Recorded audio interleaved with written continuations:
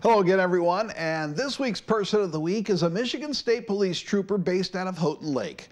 Trooper Stephen O'Dell was recently awarded the Michigan State Police Bravery Award, which typically goes to officers who have had their lives put in danger. And while O'Dell's wife would rather he never be in danger again, O'Dell's life purpose was solidified after he was shot three times in July of 2018.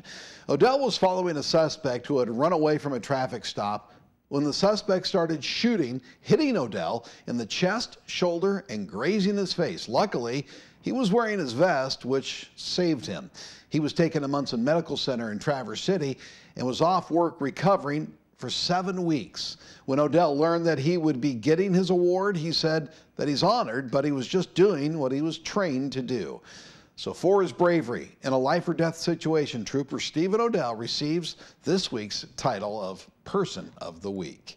Now, if you know of someone who's working hard in their own community, creating something new in the area, or just affecting Northern Michigan in their own special way, and you'd like to nominate them, send us an email at news at minews26.com.